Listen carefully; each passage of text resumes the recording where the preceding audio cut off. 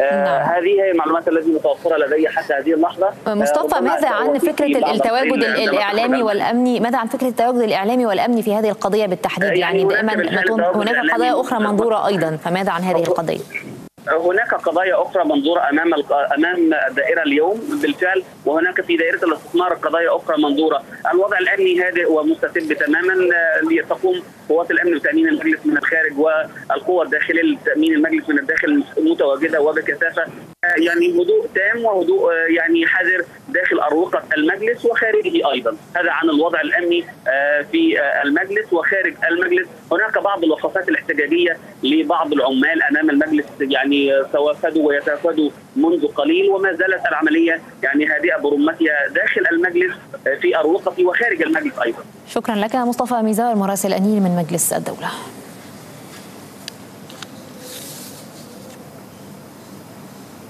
انتهت عمليات فرز الأصوات في انتخابات الإعادة التي أجرتها نقابة المهندسين على مركز رئيس نقابة فرعية في عشر محافظات. هي الإسكندرية والشرقية ودقهلية والمنوفية والمنيا وقنا وأسوان والعريش والإسماعيلية والوادي الجديد حيث فازت مرشح تيار الاستقلال المهندسة أماني كفافي بمنصب نقيب المهندسين في الشرقية. كما فازت مرشحة الاستقلال بالإسكندرية المهندسة سمر شلبي بمنصب النقيب وكذلك مرشح الاستقلال بالدقهلية المهندس عادل عبد الرازق رازق الغزالي بعد أن حصل على 70% من مجموع الأصوات. كما فاز مرشح الاستقلال بالمنيا الدكتور صدقي عبد الله تهامي وفي قنا فاز المهندس أشرف مشهور بمقعد نقيب المهندسين عن المحافظة بفارق عشرة أصوات عن منافسه عبد الفتاح هاشم.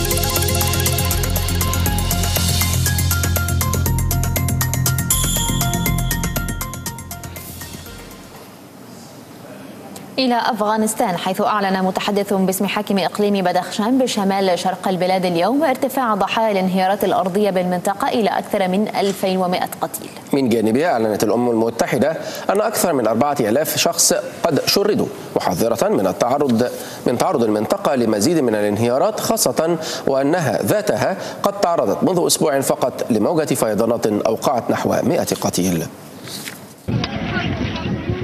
أفغانستان وكارثة جديدة. ليست معارك أو صراع طائفي هذه المرة بل غضب الطبيعة يتجلى في أقصى صوره. انزلاق أرضي هائل في ولاية بدخشان شمال شرقي أفغانستان في أعقاب أمطار غزيرة والنتيجة تل بأكمله. انهار فوق قرية أبريك ليدفن تحته نحو 300 منزل في المنطقة. الحصيلة الأولية للضحايا تجاوزت 350 قاتلا ورجال الإنقاذ يحاربون الزمن بحثا عن ناجين تحت الأوحال التي طمرت القرية وسط مخاوف من مقتل ما يزيد على 2500 شخص في واحدة من أسوأ الكوارث الطبيعية التي تشهدها أفغانستان. القرويون صارعوا للبحث بين الأوحال والحجارة فيما تسعى السلطات المحلية وقوات الأمم المتحدة وحلف شمال الأطلسي لتقديم يد العون وتقدير حجم الضرر.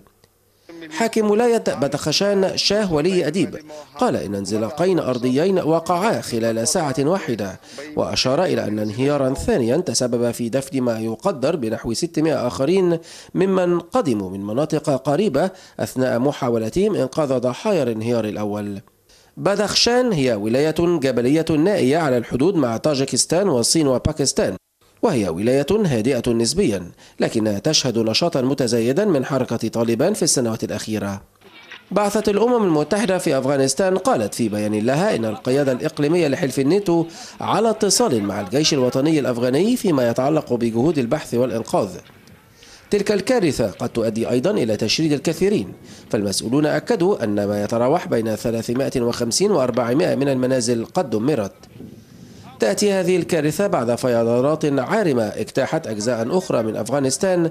قتل فيها 150 شخصا وتضرر 67 ألف شخص آخرين في ولايات جوزجان وفارياب وسربل. وتضرر أو دمر 3500 منزل تقريبا في الفيضانات مما دفع مكتب الأمم المتحدة لتنسيق المساعدات الإنسانية إلى توجيه نداء عاجل لتأمين ملاجئ. وغالبا ما تشهد المناطق الشمالية من أفغانستان فيضانات وانزلاقات أرضية في فصل الربيع.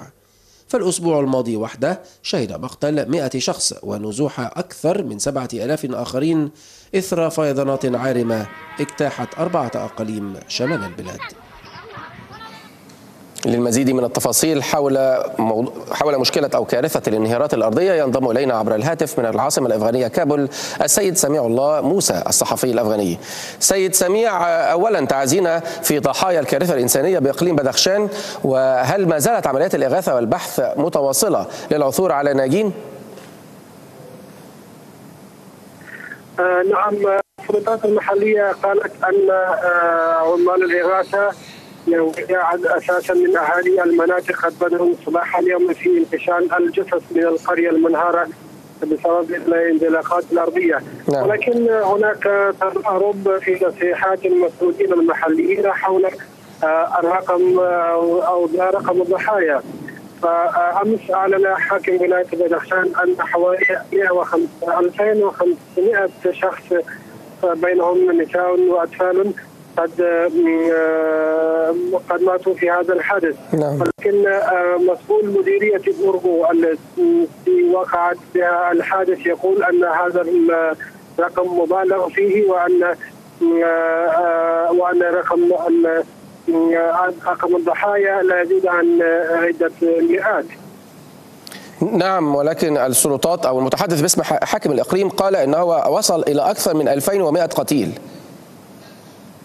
هكذا يقول الخبر. نعم هذا ما أشرت إليه. هو يقول حاكم ولاية بدخشان أن أن أن عدد الضحايا قد وصل إلى حوالي 2500 نعم نعم. ولكن المسؤول المحلي في المنطقة التي وقعت بها الحادث قالت لوسائل الإعلام أن هذا الرقم مبالغ فيه وأن العدد الحقيقي من ضحايا الحادث هو أقل بكثير نعم. من هذا الرقم. سيد سميع ما هي الإجراءات التي اتخذتها السلطات خوفا من أن تحدث انزلاقات انزلاقات أخرى؟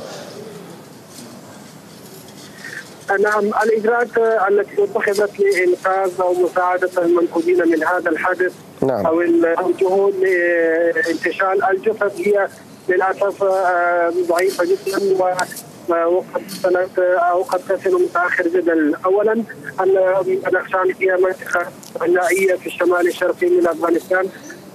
وثانيا ان الإدارات المحلية ليست لديها ما يقدم للمنقوذين أو ليست لها ما يمكنها من من تقديم مساعدات لازمة والقيام بعمليات الإغاثة. فالجديد في في ما يتعلق بهذا الحادث هو أن نائب نعم. الرئيس النائب الثاني للرئيس حامد كرزي قد غادر اليوم لصحبة عدد من الوزراء متجها إلى ولاية بدخشان لمحاولة تنسيق الجهود نعم. لإغاثة نعم. هؤلاء المنقذين أشكرك السيد سميع الله موسى الصحفي الأفغاني كنت معنا عبر الهاتف من العاصمة الأفغانية كابول أعلنت روسيا أنه تم إطلاق سراح مراقبي منظمة الأمن والتعاون المحتجزين في شرق أوكرانيا. من جانبها أعلنت أوكرانيا على لسان وزير داخليتها أرسن أفاكوفا أن العمليات العسكرية التي يقوم بها الجيش الأوكراني في معاقل انفصاليين في سليفيانسك وكراماتورسك مستمرة. مضيفا أن القوات المشاركة في هذه العمليات نجحت في السيطرة على برج التلفزيون الذي كان قد استولى عليه من قبل الانفصاليون. كان الهجوم العسكري الذي شنه الجيش الأوكراني في مدينة سليفيانسك قد أسفر عن سقوط العديد من القتلى والجرحى في صفوف الانفصاليين وقتلين في صفوف الجيش الأوكراني.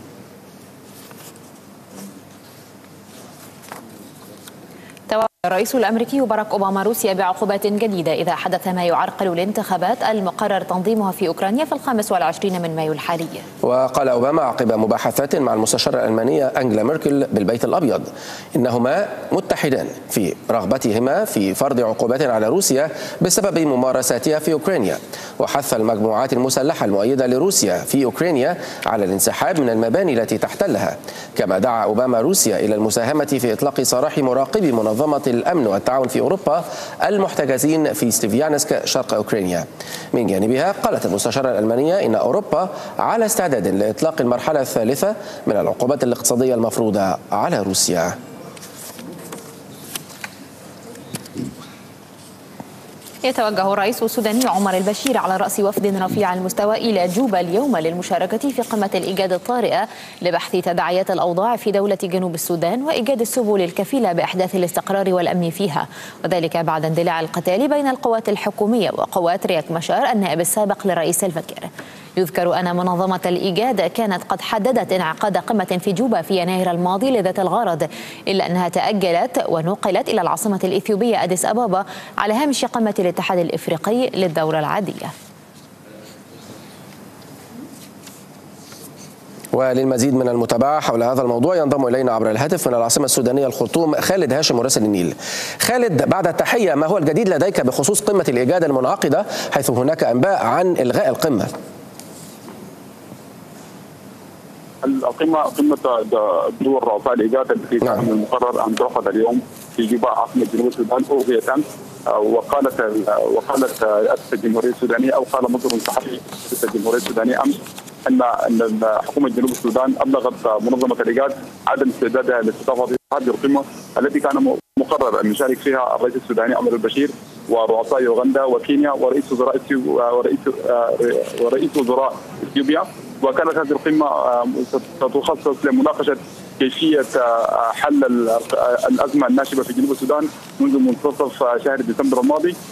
ولكن حكومه الجنوب كما ذكرت قالت إنها غير مستعدة لاستضافة هذه القمة التي كان يبدو أن الرئيس في سيلفا ميردت كان يؤمل أن يجد من أن يجد منها دعما في مواجهة خصمه وقرينه نائبه السابق وقائد المتمردين حاليا نعم. الدكتور رياك مشار الذي يقود التمرد الآن في دولة جنوب السودان. نعم مراسل النيل خالد هاشم شكرا لك على هذه المتابعة لقمه الإيجاد المنعقدة في السودان.